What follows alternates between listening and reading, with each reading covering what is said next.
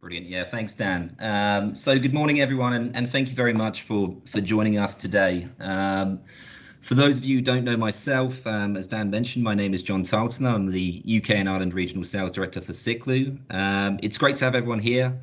Uh, really, the idea of this presentation is to bring our customers a new opportunity rather than traditionally telling you about our latest and greatest, which of course we will naturally be doing. Um, for us, over the past few years, we've noticed a, a, real shift in dynamic within most certainly the UK market, but uh, also the global market. The concept of a neutral host operator is something we think all of our partners should really start to consider. And really, the plan of this presentation uh, today is to hopefully open your eyes to this opportunity, to which we, we hope to achieve during the period of, of this webinar.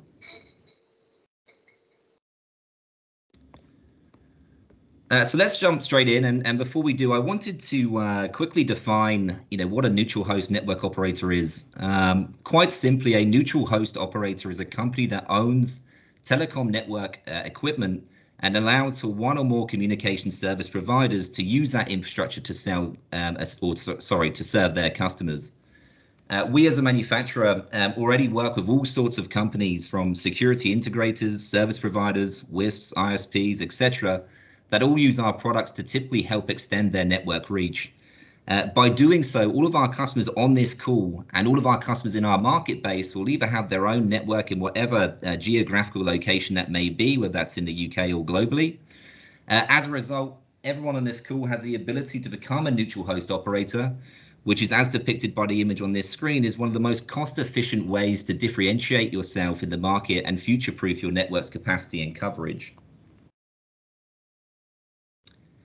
Uh, now, for us at Siklu, we are often in conversation and communication with, with mobile operators all over the globe. Um, what has become abundantly apparent um, at this present time is the rollout of 4G and 5G infrastructure is crucial and is without doubt their number one target for years to come to provide better mobile coverage. Uh, in addition to this, they really uh, now couldn't care about what technology is being used to backhaul their network so long as it works, mainly because they need to get this ubiquitous coverage for their mobile technology. However, to achieve this goal, they need connectivity providers to help them connect up their small cell infrastructure.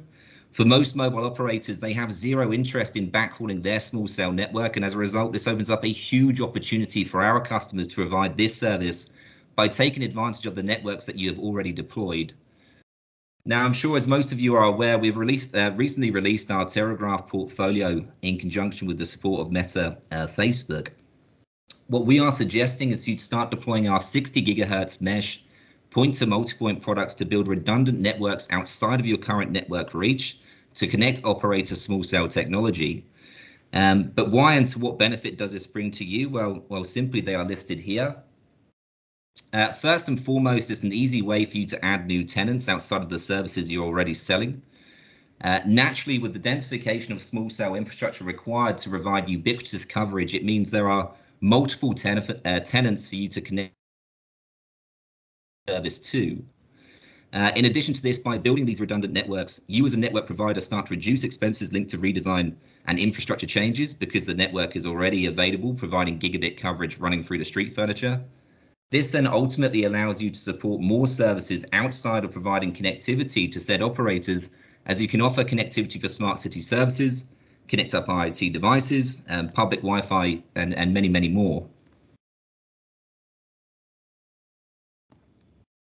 Now, to hopefully validate, you know, what I'm saying regarding operators having zero interest in backhauling their mobile networks, and, and off the back of this now being open to looking at radio to connect up their infrastructure, you know, here is a, a direct quote from Vodafone's chief network officer, Andrea Dona, stating that at the very least, 30% of the network footprint used to connect their mobile networks will be achieved via radio technology.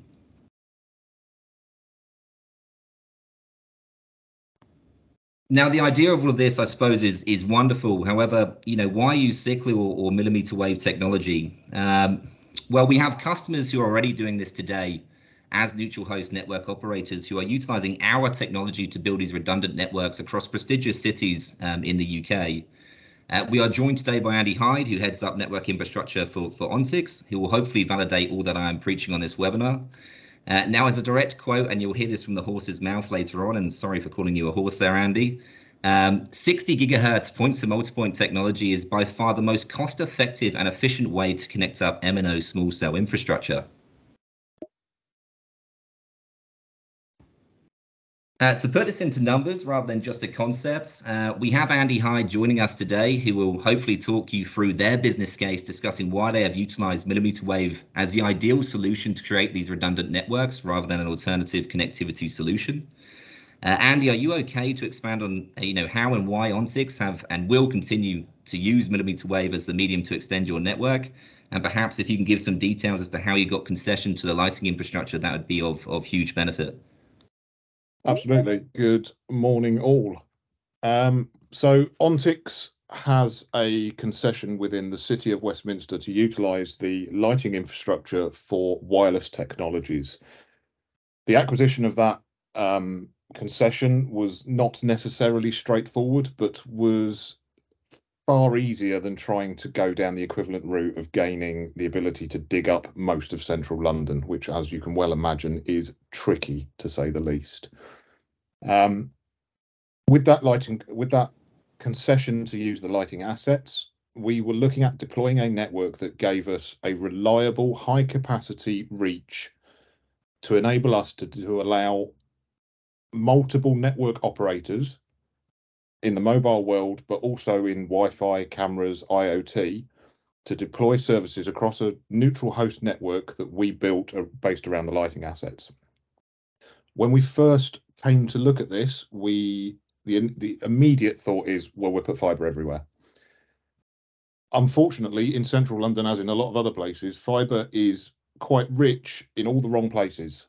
Hmm. Um, so digging our own fibre into the ground of very prestigious central London quickly became a hugely expensive activity.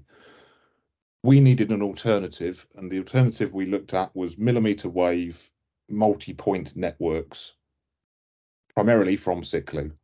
They enable us to deploy high capacity, reliable networks that reach the places we and our customers need to reach at a minimal expense. As a rough guide, a single Siklu node is roughly equivalent to sinking a single fibre chamber into central London. Wow. So the payback is reasonably obvious, I would have thought from that. Brilliant. Thanks, Andy. That's um, that's super helpful. Um, so taking a look then at you know who are neutral host networks most suitable for, well, one of the main uh, applications or, or, arguments could be made for the smart city, is, as Andy uh, alluded to just a moment ago.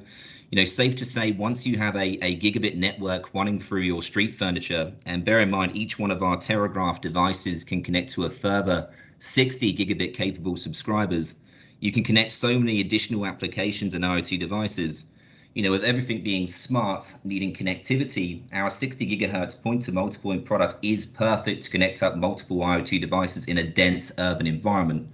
Now, of course, the kicker for you as a customer, by building these mesh 60 gigahertz redundant networks going through said street furniture as a potential NHO, you can offer the perfect platform to connect up said smart, uh, smart city infrastructure, bringing additional revenue streams you know, for me, it's often said that fiber is gold in the ground. However, in my humble opinion, Terragraph is really gold in the air as it enables flexibility, is as reliable as fiber, and is gigabit plus capable.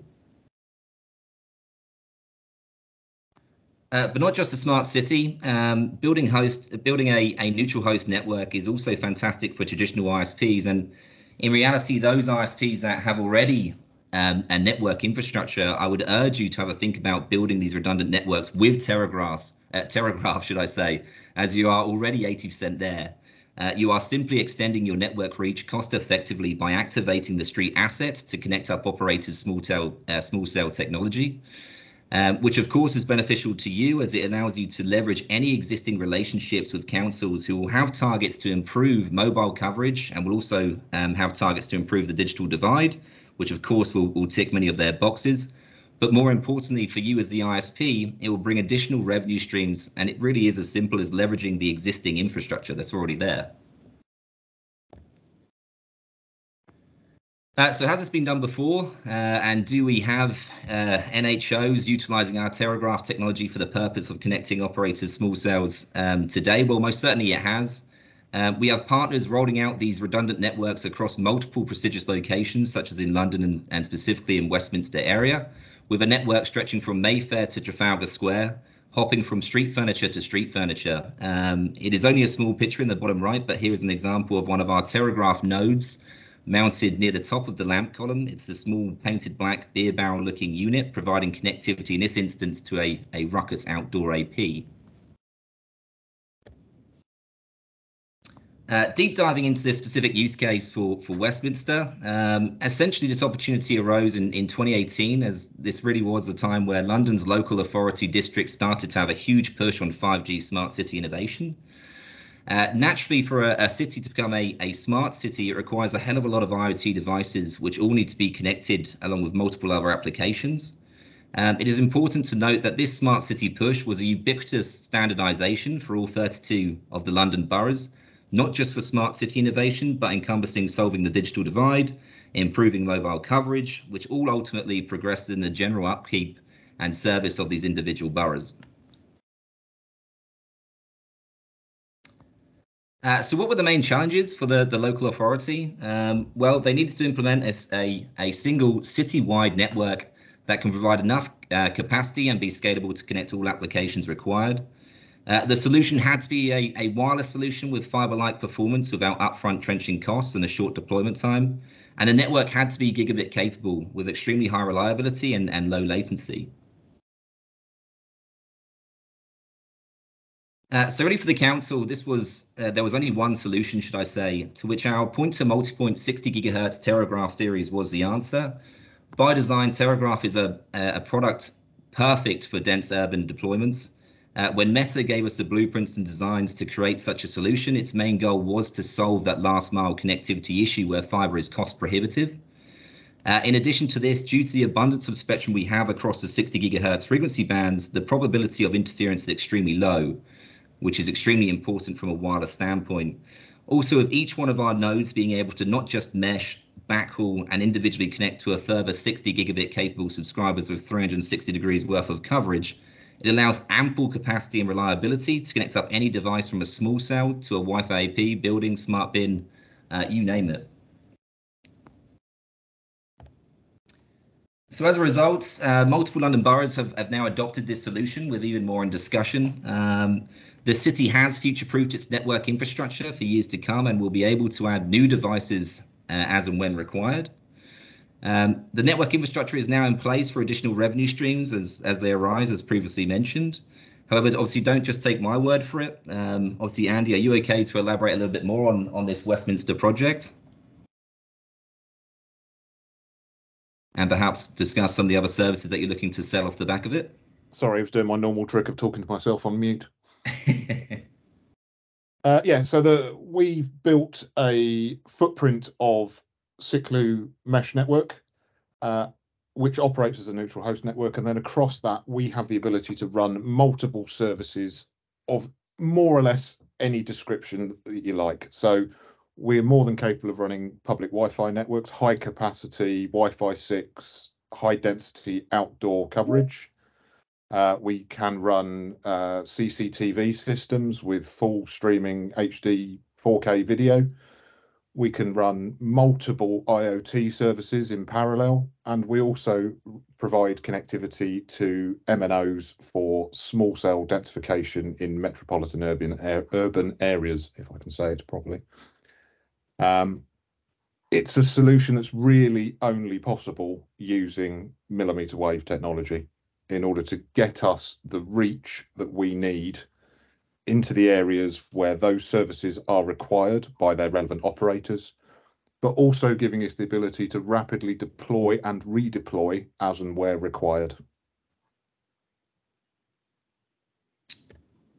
And uh, thanks, Andy, for the information and background to the network you've rolled out in London. It is um, hugely appreciated. Um, for those in the call who have any questions, feel free to ask away at the end, and we'll do our best to um, to cover them off.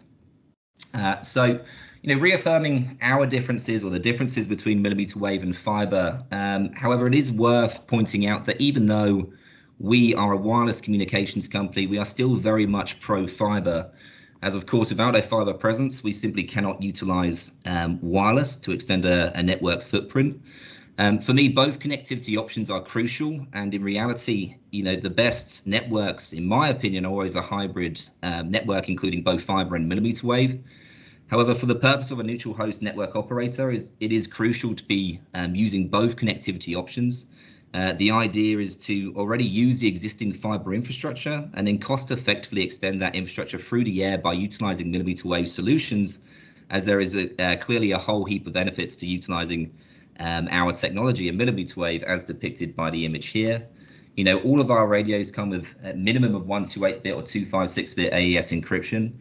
We offer multi-gigabit capacity, so anywhere from 100 meg all the way through to 20 gigabits full duplex. Um, we're cost effective, as, as Andy um, mentioned earlier, compared to the deployment of most certainly new fiber in a city center. Uh, we offer low latency. Um, all of our radios and most certainly our latest Terragraph series have a, a 0.1 millisecond latency between each connection. Uh, we offer the widest spectrum. In fact, we have around about 19 gigahertz worth of virgin space and spectrum to operate in across 60, 70, and 80 gigahertz. Uh, we're extremely reliable and have a 90 year mean time between failure on all of our products. Um, we are immune to interference. We're not quite interference free, but that's a very, very low probability of getting interference in this um, frequency band because we have an abundance of spectrum. We utilize highly directional beams and we have a fast time to market. You know, it's wireless technology. It can be deployed next day. If the customer or tenant moves, you can take it down and redeploy it somewhere else. Um, so ultimately, we think it is, you know, safe to say that anything under five kilometer range, you know, no longer requires fiber. Um, now, this is a bit of a, a, sweeping statement, as there are multiple factors that come into play when deciding on, you know, what connectivity option to go with, depending on speeds, distance, you know, line of sight, network topology, backbone infrastructure, etc. But I suppose, you know, in the round, any opportunity that requires gigabit connectivity that has line of sight and a backbone infrastructure in place, and most certainly millimeter wave should be a high priority when deciding what technology uh, to, to deploy because of its inherent benefits as discussed previously on this, this webinar. So really this is our value proposition. You know, we offer the means to transition to millimeter wave and replace fiber, or more importantly, extend a fiber's network reach. In particularly when we look at the neutral host use case, it is clear fiber cannot be used in every location to connect to mobile operator infrastructure. I think this is absolutely the case when we consider looking at connecting 4G or 5G small cells due to the densification required for these networks. You know, a fiber only approach would be too expensive. It would take far too long due to the constraints that come with rolling out fiber, such as wayleaves and also the physical trenching. And more importantly, it would end up looking a bit like spaghetti junction. Now, for us at Siklu, we do like to consider ourselves as a, a value-add manufacturer. And for those who have joined the call today and are interested in exploring the idea of becoming a neutral host network operator, we would like to offer you a complimentary network design and, and project consultation um, on us in the first instance. Um, I'm confident most of our partners on this call um, today are aware we have complementary network design tools and excellent planning resource at HQ.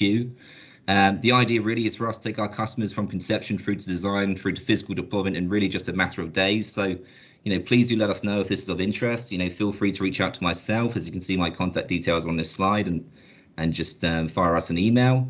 Um, we would really love to prove the point we have made today and hopefully bring you as our customers a new idea as to how to squeeze a little bit more revenue out of your, you know, already excellent network. So um, that's really it from us, short and, short and sweet, should I say. Um, any questions, feel free to raise a hand on, a, on the chat and we will uh, do our best to, to answer.